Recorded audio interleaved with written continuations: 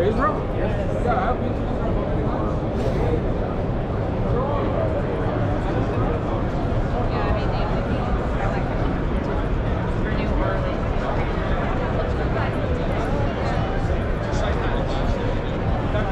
Oh, auto Tell you a little bit tracking. about, oh, um, sure. Iris.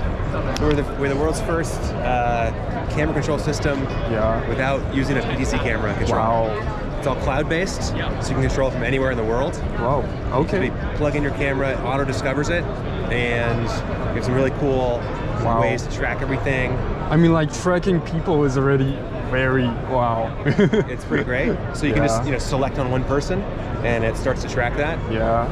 And we have a lot of other cool things where you can just point to you know click click to uh, you click to zoom, Oh, okay. and it's all in a browser. So you don't need a separate piece of software. You just open up your browser and you start controlling the cameras from anywhere. Oh, also input several cameras. You got inputs, audios, and the really cool thing too is we grab all the camera settings too. Oh. So you control every camera setting right through our system Oh. without having to go into the cameras to change them. So it's a subscription base. You know, so we're, we're pre-launch right now, so Oh. we're, we're collecting uh, uh, people for our beta list. Yeah. So if you'd like to join, we can